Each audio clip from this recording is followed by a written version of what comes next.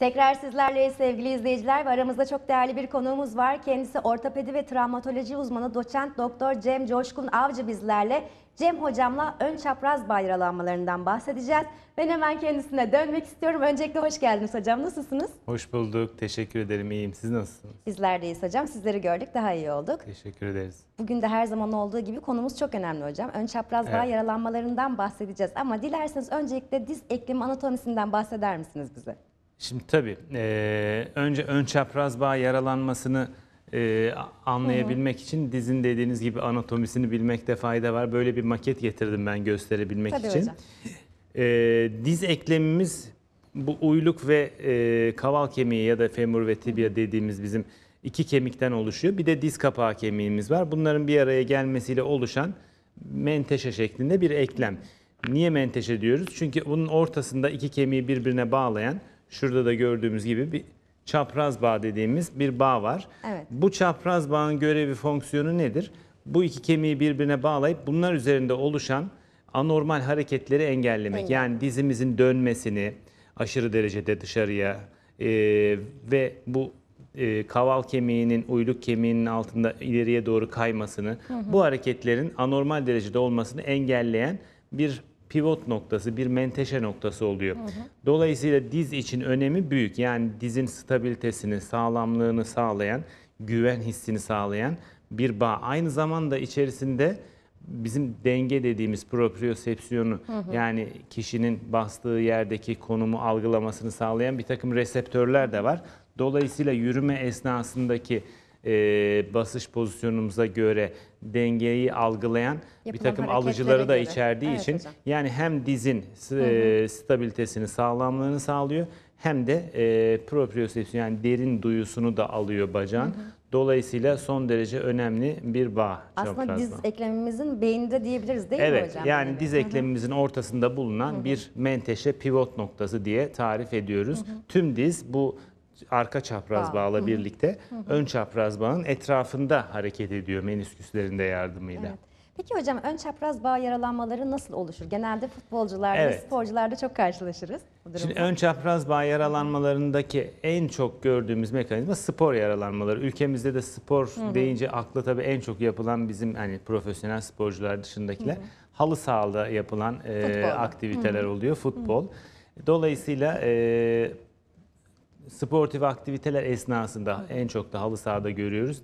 Dizin dönmesiyle veya basketbol gibi, voleybol gibi sporlarda sporcunun yükseğe sıçradıktan sonra yere düşerken dizinin üzerine anormal yüklenmesiyle ve anormal ortaya çıkan hareketlerle e, oluşan bir yaralanma mekanizması var.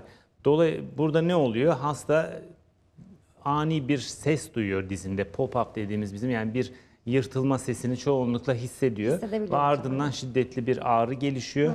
Diz eklemi hemen şişmeye başlıyor. Üzerine basması, sportif aktiviteye devam etmesi tabii kişinin mümkün tabii. olmuyor. Ee, bu şekilde bir belirtisi ve oluş mekanizması var. Peki hocam ilk müdahale nasıl yapılmalı bu durumda? Böyle bir defa şüphe olduğu anda mutlaka o sportif aktiviteye e, son Ara vermek gerekiyor. Onu devam etmek uygun değil. Burada tabii çapraz bağ yırtığıyla birlikte diğer dokularda da yırtık oluştuğu zaman hemen bir kanama ortaya çıkıyor. Diz eklemi içerisinde yoğun bir kanama oluşuyor. Bu kanama dizi şişiriyor.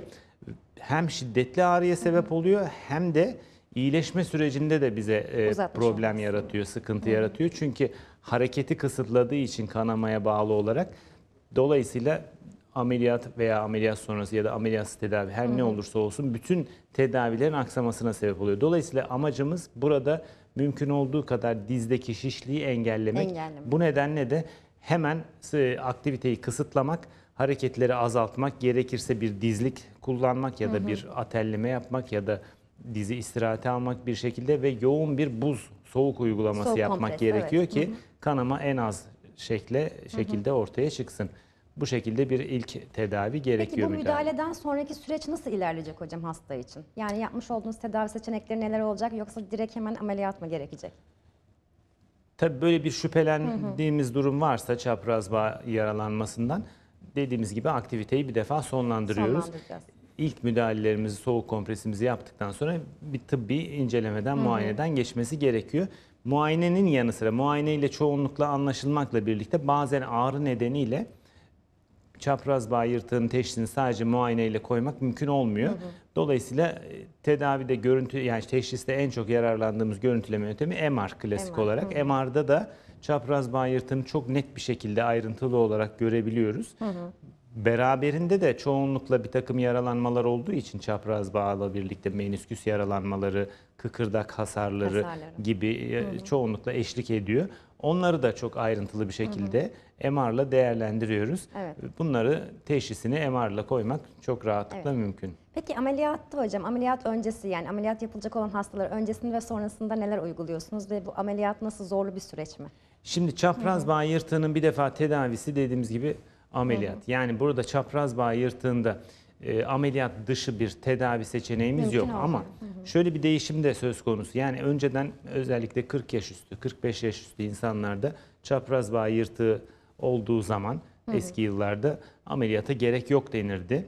Oysa çapraz bağın e, yokluğu dizde her yaşta probleme sebep oluyor. Yani bu dediğimiz biraz önce bahsettiğimiz anormal hareketler çapraz bağ yokluğunda hem yürüme esnasında hem sportif aktivite esnasında meydana geldiği için bir defa bu anormal hareketleri ortadan kaldırmak, diz kapağının ve diz eklem kıkırdaklarının yıpranmasını engellemek için mutlaka cerrahi tedavi gerekiyor. Yani çapraz bağ yırtığında özel bazı durumlar dışında yani çok ileri yaşlar olabilir veya bazı çocuklarda çok erken yani çocuk sporcularda da gördüğümüz bir yaralanma.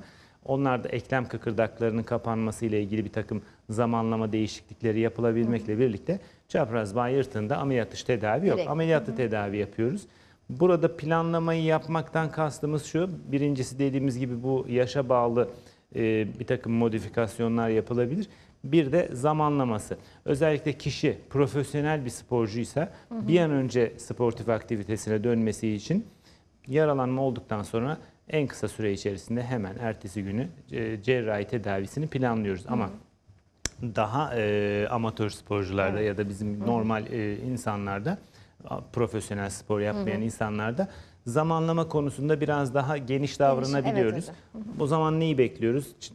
Bu oluşan şişliğin, dizdeki hareket kısıtlılığının öncelikle rehabilitasyonu yani biraz açılmasını, biraz inmesini şişliklerin bekleyebiliyoruz. Bunları bekledikten sonra diz hareketleri tekrar normale yakın düzeylere ulaştıktan sonra ameliyatın planlamasını yapabiliyoruz. Evet. Peki hocam herhangi bir fizik tedavi gerekiyor mu ameliyat sonrasında hastaya? Ameliyat sonrası tabii fizik tedavi gerekiyor. Bizim ortopedide yani bütün ameliyatlarda genel olarak şöyle denir yani Gerekiyor. işin %50'si ameliyatsa %50'si fizik tedavi ve rehabilitasyondan oluşuyor.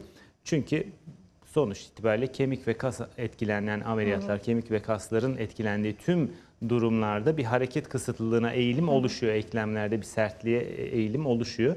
Bunu aşmak için tabii ki fizik tedavi ve rehabilitasyon gerekiyor. Bunu özellikle fizik tedaviye başlatarak da yapabiliyoruz çoğunlukla. Ama bazı durumlarda hastaya kendi kendine e, verdiğimiz, kendi yapacağı self e, training dediğimiz egzersizlerle e, bu fizik tedavi sürecini e, geçirebiliyoruz. Yani bazı durumlarda hastaların iyi adapte olduğu, iyi motive olduğu durumlarda kendi yapacağı egzersizlerle özel bir e, rehabilitasyon Ha, merkezine evet rehabilitasyon Hı hı, merkezine gitmek sizin de e, rehabilite etmek mümkün, fizik tedavi yapmak mümkün. Ama özellikle sporcuysa, özellikle profesyonel ya da amatör de olsa e, üst düzey bir sporcu adayıysa o zaman e, fizik tedavi yapmak da özellikle gerekiyor. Gerekiyor. Evet. hocam ön çapraz bağ yaralanmalarından bahsettik ama dilerseniz şimdi menisküsten biraz bahsedelim. Tabii. Menisküs nedir hocam? Şimdi menisküs de yine maket üzerinde gösterecek Evet. olursak daha kolay anlaşılması adına bu biraz önce bahsettiğimiz uyluk ve kaval kemiklerinin eklem yaptığı diz ekleminde ki bu bölgede iki kemiğin arasında bulunan bu yarım ay şeklindeki kıkırdak dokular oluşuyor. Bu kıkırdak dokular Bunların e, görevi nedir? Menisküsler yükü taşıyor. Adeta iki kemik arasında amortisör görevi görüyor. Bir de şok absorpsiyonu dediğimiz yani darbelere, düşmelere karşı diz kıkırdaklarını koruyor. Ve bunun yanı sıra diz eklemini biraz önce bahsettiğimiz gibi çapraz bağda olduğu gibi diz ekleminin stabilitesinde de yani e, anormal hareketler yapmasına da engel Engel olan bir e, fonksiyonları var. Dolayısıyla menisküsler de diz için çapraz bağ kadar çok önemli, Önemli. dokular oluyor. Evet. Peki hocam menisküs yaralanmaları nasıl oluşuyor bu durumda? Menisküs yaralanmaları da çoğunlukla benzer mekanizmalarla oluşuyor. Özellikle genç kişilerde sportif aktivite, spor yaralanmaları sonucunda biraz önce bahsettiğimiz gibi diğer bağ yaralanmalarına eşlik eder tarzda oluşabildiği gibi izole olarak oluştuğunu da daha çok görüyoruz. Daha küçük travmalarda dizin döndüğü anorm veya ileri derecede e, katlandığı durumlarda menisküs yırtıkları oluşuyor. Bunlar tabii genç hastalarda yani travma sonucunda anormal hareketler sonucunda oluşan yırtıklar ama bir de özellikle orta yaş ve üzerine geldiğimizde diz ekleminin doğal yıpranma sürecinde, kas iskele sisteminin doğal olarak oluşan yıpranma sürecinde, yaşlanma sürecinde dejeneratif e, aşınma tarzı yırtıkları da menisküsün yani kendiliğinden bir darbe olmadan, anormal bir hareket bir olmadan belirti de vermeyebilir değil mi hocam aslında? belirti vermeyebilir. Birçok Evet, insanda mesela menisküs yırtığı oluyor. Ama Ee, ama şikayeti ağrı, olmuyor. evet. Tesadüfen bir MR e, çekimi esnasında menisküsünde de yırtık varmış diye saptanıyor. Tabii ki böyle dejeneratif yırtıklar işte bahsettiğimiz aşınma tarzı yırtıklar her zaman böyle bir müdahale, tedavi gerektiren yırtıklar değil. Evet. Hocam önemli olan da şu e, halk dilinde genelde şey derler. Dizlerimde suyum bitti. Yani dizlerimin Evet. suyu bitti. İşte dışarıdan iğne enjekte edilir. Bu doğru bir tabir midir? Gerçekten dizlerde su bitmesi midir aslında? Ya Menisküs. tabii e, dizlerde sıvı kaybı diye t- tabir edilen şey aslında diz ekleminin kıkırdaklarının aşınması, Aşınması, yıpranması oluyor. Şimdi bu hastalığın ilk başlangıcındaki erken ve orta aşamalarında sıvı kaybı demeyelim. Sıvıda kayıp söz konusu değil ama bu eklem sıvısının yapısındaki bir- takım maddelerin azaldığını, bir takım Azalması. maddelerin arttığını yani kıkırdağı eriten bir takım enzimlerin yükseldiğini, kıkırdağı besleyen eklem sıvısı içerisindeki bu maddelerin de azaldığını görüyoruz. Dolayısıyla eklem sıvısı bitti ya da sıvım azalmış, sıvı kaybı var tabiri buradan geliyor.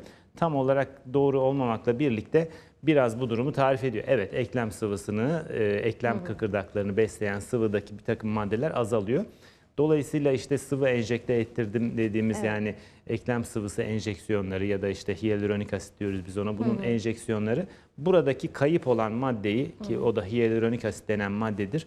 Bu maddeyi dışarıdan e- enjeksiyonla Takviye yerine olarak, koyma evet esasına dayanıyor. Evet bu şekilde. Hocam şu son zamanlarda da toplumumuzda bu kolajen besin Evet. takvimleri çok fazla kullanılmaya başladı ve işte ağrılarım geçiyor. Artık psikolojik mi bunu da size sormak istiyorum ama çok fazla kullanan var. Ne kadar doğru hocam?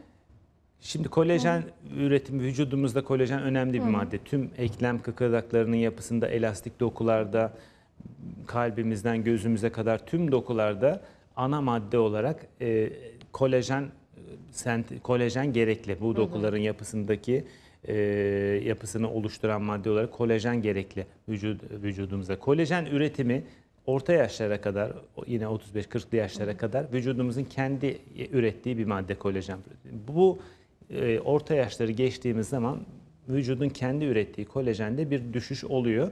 Dolayısıyla kas iskele sisteminin işte yaşlanmasında, kireçlenmelerde bunun da rolü olduğu düşünülüyor. Bunu dışarıdan vermek evet e, işe yarıyor ama tek başına bir tedavi olarak aslında, e, değil evet hocam? tıbbi bir tedavi olarak bunu öne sürmek çok doğru değil. Fakat hafif ve orta düzeydeki bu aşınmalarda, kireçlenmelerde, eklem kireçlenmeleri hatta bazı tendon e, hasarlarında, tendon aşınma işte tenisçi dirseği dediğimiz, topuk dikeni dediğimiz, aşil tendiniti dediğimiz durumlarda bu tür kolajen takviyelerinin faydası faydası? oluyor. Evet hocam.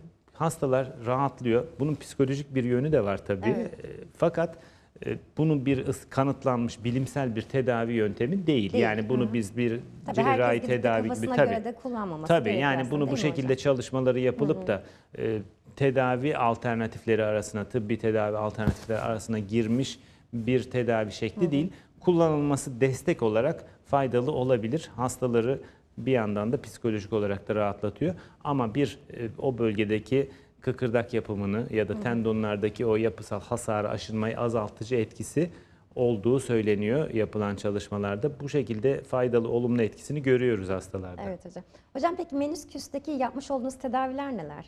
En son yine ameliyat yapılıyor mu menisküs hastalarına da? Şimdi menisküs tedavilerin menisküs ameli, tedavilerinde ameliyatlı tedaviler de var, ameliyatsız tedaviler de var değişik. tabii. Biraz önce bahsettiğimiz gibi eğer bir yaşlanma sürecinin parçasıysa menisküsteki yırtık ve az önce söylediğiniz gibi şikayete sebep olmayabilir. Şikayete sebep olmuyorsa bunun mutlaka e, tedavi edilmesi, cerrahi olarak tedavi edilmesi gerekmiyor. Böyle durumlarda cerrahi dışı tedaviler öneriyoruz ki bunların başında da egzersizler işte fizik tedavi prosedürleri geliyor.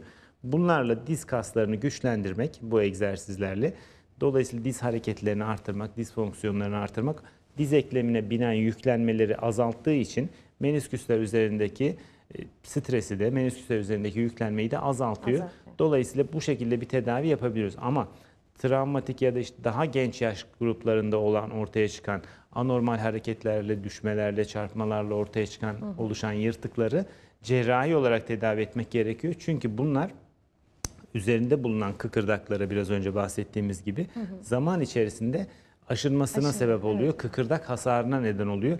Bu durum meydana geldiğinde tedavi hem zorlaşıyor hem de işte ileriye dönük olarak diz ekleminin kireçlenmesi, diz ekleminin Başka aşınması, evet başlıyor. artroz başka rahatsızlıklara da sebep oluyor. Tedavisi de zorlaşıyor. Bu nedenle menisküs yırtıklarının zamanında teşhis edilerek uygun tedavi yönteminin belirlenmesi çok önemli. Cerrahi veya cerrahi dışı ama mutlaka bir tedavi uygulanması, Uygulanması gerek- gerekiyor. Evet. Peki hocam menisküs hastaları nelere dikkat etmesi gerekiyor özellikle? Şimdi Menisküs- orta yaş için konuştuk, bir de Evet. daha genç yaş için konuştuk. İkisi Şimdi için de. genç yaş grubundaki hastalarda özellikle menisküsü korumaya yönelik bir e, ya, tedavi şekline gerek yok tabii ki. Onların çoğunlukla spor esnasında meydana geldiği için bu tür yaralanmalar klasik olarak e, spor yapmadan önce yapılması gereken hazırlıklara ve kendilerine uygun e, sporları yapmaya dikkat etmeleri gerekiyor. Yani burada tabii ki işte vücut yapısının, yapılacak sporun şeklinin, çok yarışmalı spor mu değil mi olduğunu bunların önemi var. Buna göre uygun kendileri için, fizik yapıları için ve antrenman durumları için, kondisyonları için uygun sporların seçilmesi önemli. Daha e, ileri yaş grubundaki dejeneratif yırtıkların olduğu grupta da kilo birinci planda önemli Evet hocam, oluyor. önemlisi. Çünkü kilolu hastalarda çoğunlukla işte bu yüklenme sonucunda menisküsler aşırı yük altında ezilmesine bağlı olarak hem dejenere oluyor, yağa dönüşmeye başlıyor e, hem de e, kendiliğinden bu yırtıklar oluşabiliyor. Dolayısıyla bu hastaların da özellikle kilo kontrolü açısından e, Daha kendilerine dikkatli, dikkat evet. etmeleri gerekiyor. Bir de dizleri özellikle çok bükmemizi gerektiren işte yere oturma, bağdaş kurma, namaz kılan, aşırı evet, evet. yani bunları da e, uzun süreler en azından yapmamak gerekiyor. Yırtıklar varsa belki bunları belli sürelerde olsa ömür boyu olmasa bile namaz kılmayı oturarak yapmak, bağdaş kurmaktan kaçınmak, aşırı derecede merdivenli çıkmaktan kaçınmak ve bir takım sporları da belki bir süreliğine yasaklamak gerekiyor. Gerekiyor, evet. Evet.